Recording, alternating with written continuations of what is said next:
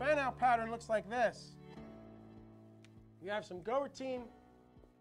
It's doing some work. And it says, you know what? I got a bunch of things that I can do out of order. Like I've got 20 database transactions that I need to execute. I don't particularly care what order they happen in, as long as they get done. So what we do is we find 20 friends to each do a transaction for us. We wait here while that's getting done. Once all 20 friends tell us they're done, we move on. That's a fan out pattern. Okay, I'm going to give you two warnings on fan out patterns.